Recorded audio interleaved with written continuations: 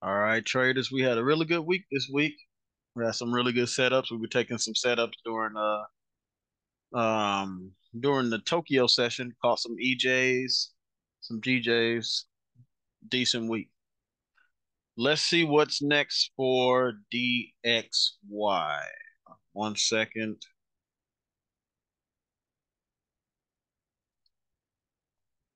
All right, so price is not put uh taking out that low on the DXY. So if it doesn't take out this low, this low should substantiate a demand. Let me put these lines here real quick. Um, from the body, what I've noticed from the body, um, sometimes the body itself has the orders liquidity sitting at it, and sometimes it likes to stab into the body a little bit. So if we have a movement back down a little bit, and if we get a reaction like that, uh, yeah, that's gonna blast. For most of the part, I, I've seen it. This happen too many times, where it's gonna just come down there, grab liquidity, not take out the low, start pushing back up because the buyers are gonna get involved because orders are filled and maybe consolidate off here and then start pushing back up back to this area where this big nasty supplies on at.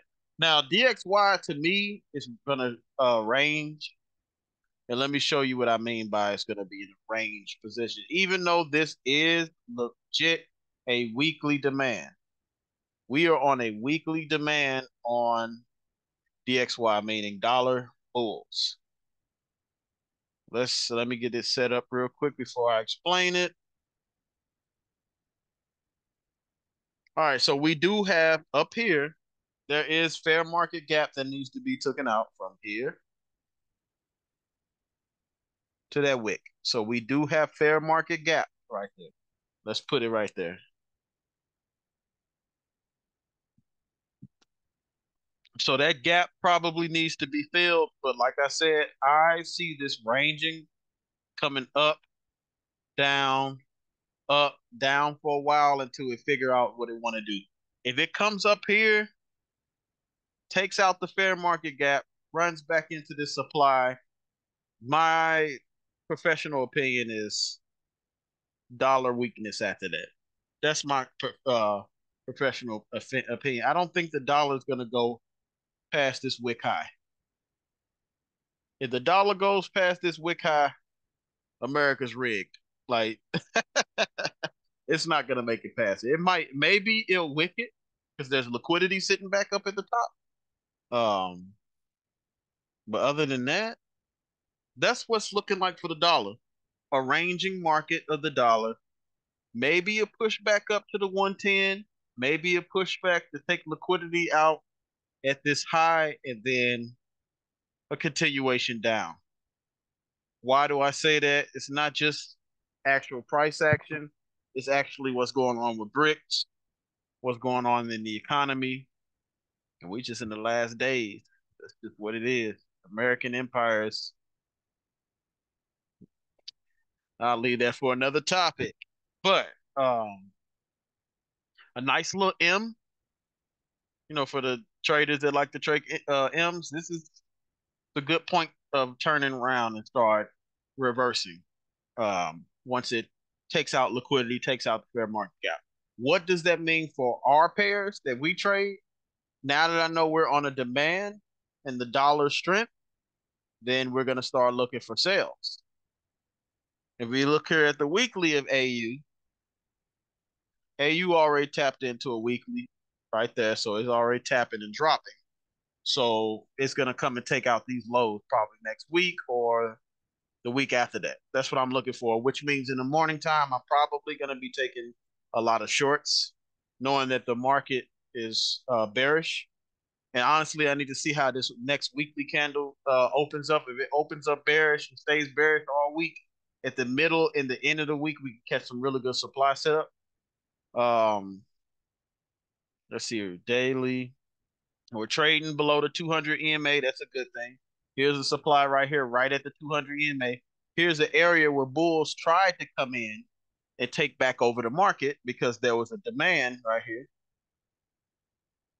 and it got broken with a big long bear candle that probably had fair market gap on time frame, and we have somewhat of a supply right there. So we have some supply areas to sell off of for next week on the daily, and then obviously we go to lower time frames. Just look for our sell setups. If you counter trend trades can be done if we find some demand setup, but right now the market is making lower lows. And we like that. When it start making lower lows, that's when we can make our money because we just catch every low at the break of the candle. Um, yeah, so that's for AU. GU is looking like the same thing. Actually, I actually took a sale on GU on my um on my account. And look, right at this uh where is it? I guess it's that one. It tapped right into the H1. Remember, I, I try to write, I put these things in here so you can see for yourself. That's the break of structure, BOS. So structure was break uh, broken right here, and it just wanted to fill in that whole gap. It filled in that whole gap. It looked like it's ready to go back down at the break of structure. You just go where the market is going. Make it simple. That's why I like continuation. Remember, reversals happen seldom, but continuations happen more in a, a trending market. So it's best to just take the continuation. Look at this. Just keep taking it until take the continuation into the market wants the reverse. By the time that happened, you already made a lot of money. And then when you finally lose because it's gonna it's a reversal, you made all your money, especially if you're doing risk management. But that's another story too. So yeah. Um, continuation for GU down um, next week. Uh, as far as NAS 100 is concerned, we got a lot of break of structure going on here. Looks like the indices are ready to start flying. What is this? NASDAQ. Okay. Go let's go to the weekly. We do have a major supply that's sitting at NAS 100 right now. Now I'm gonna tell you right now, this ain't just gonna fall easily. Last time it was right here, tap, tap, drop. This this was a triple bottom off of demand. It flew all the way. I knew this move was gonna happen. I wish I would have been patient enough to hold it, but whatever. It's back at this major supply only two things can happen right here. We ain't gonna make it confusing. First of all, it's gonna put up with a big consolidation fight and either drop from here or back to all-time highs. What you think finna happen? I don't know.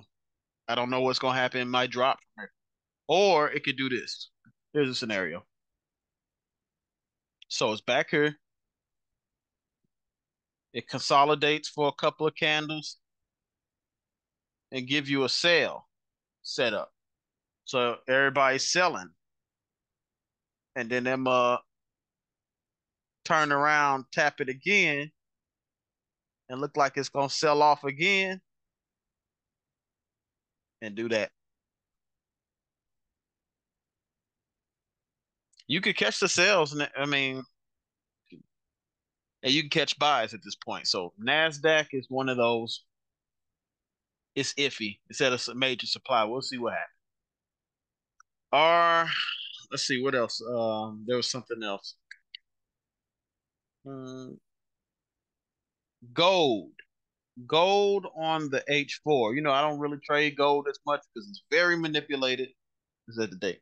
So no, gold is actually on a daily demand, and gold is still in the buyer's market, it's still uh riding the 200.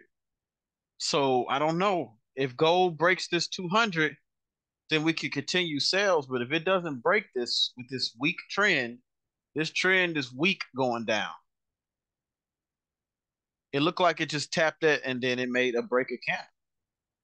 So that's kind of conflict that's conflicting with DXY, but maybe another push back up to fill this gap. Let me see. There is supply right there. And on lower time frames, uh, uh, I don't know. There, so there's a supply right there on a lower time. So it there are supplies starting to show up. So, but I mean, I don't trade gold like that, but I know I know some people that do. So that's something to look for with gold. It did tap the zone, collected the orders, and it's ready to start pushing up. So might get a push up, might not. So next week we'll have to see.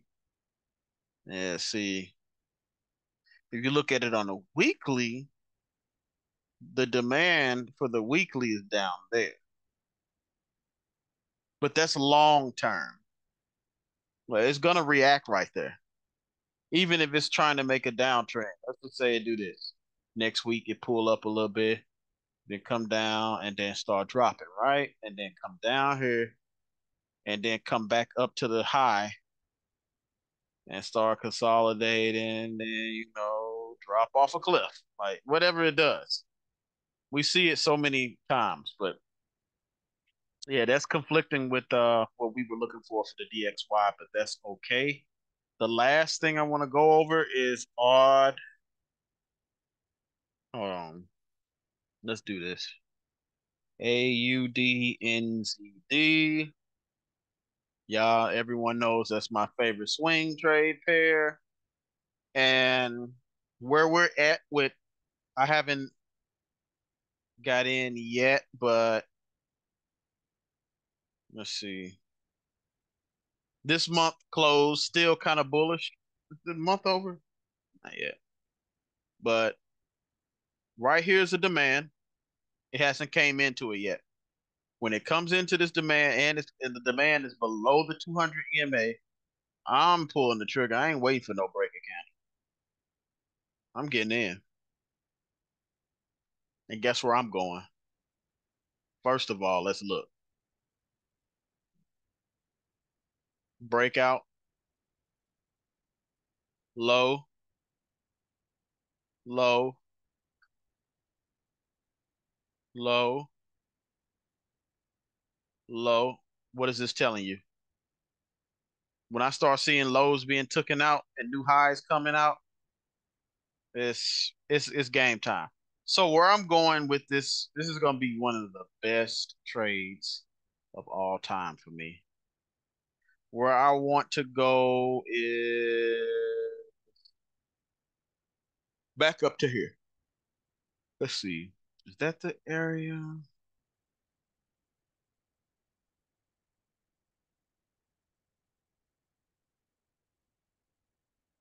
That's my TP. You could take it if you want to. I'm risking like 2%. And then I'm putting it in other accounts too. This is going to be the trade of the century. I don't even know when this move will happen. As you can see, that it could take all it could take a couple of months, month, like three, four, five months, but it's a one to five point two three. I'm taking it. Shoot, I could take it back. Yeah, all New Zealand is ready to start going back up. I don't see this continue to pushing down when it's making lower lows like this and they got that demand on the data. So I'll let y'all know when I take it, but I'm, I'm waiting for it to come back down. Once it come back down, I'm in there. Even though there's that's a daily demand right there. I was gonna take that the other day, but I'm like, hmm, me taking the one down there. Nope. Or I can put it. I can like when the market open, I can put a small position in now and wait, and then put a position in right there. Either or, but that's what we're looking for. So y'all have a good weekend. We'll be back at it Monday. Peace.